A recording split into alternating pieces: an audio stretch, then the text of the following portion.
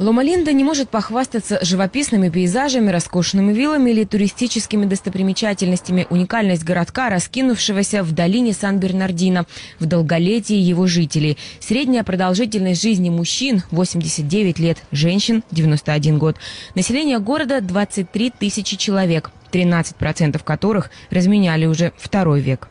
Обитатели так называемой блюзоны – это не просто долгожители, они еще и здоровее других американцев. Население Лома-Линды практически на 80% болеет меньше раком легких и менее подвержено другим видам онкологии и сердечным заболеваниям.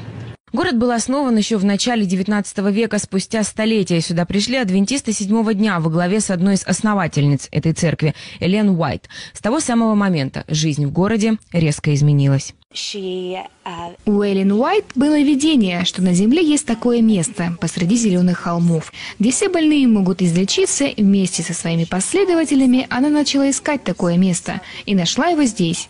Адвентисты построили в городе церковь, университет и больницу. Они вкладывали в медицину и исследования огромные деньги. Именно здесь рассказывает доктор Роджер Хедли, который уже почти полвека работает в местном медицинском центре, была проведена первая операция по пересадке сердца младенцу. Мы лидеры по пересадке сердца детям до года. Кроме того, многие не знают, но мы лидеры по лечению змеиных укусов. Почти 60 лет мы занимались исследованиями и лечением укусов змей и пауков. Мы были первым медицинским центром, который использовал протонную терапию как метод лечения рака. На прилавках магазинов здесь, как правило, только полезная еда в свои неполные 100. Мирно два раза в неделю ездит за продуктами сама.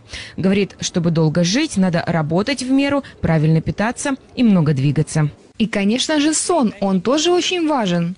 Как большинство адвентистов, мирно вегетарианка, последователи этого религиозного течения, как правило, не курят и не употребляют алкоголь.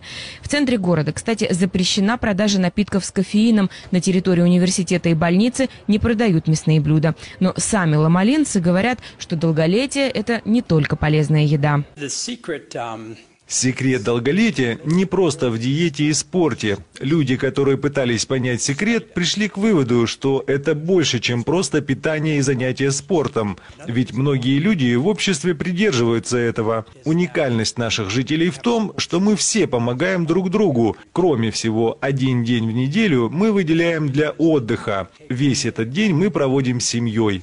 Как правило, в неделю у ломалинцев три выходных дня, но именно субботу они посвящают только семье. Адвентистам запрещено заниматься даже домашними делами в это время. Потому, говорят тут, разводы в Ломалинде – явление редкое.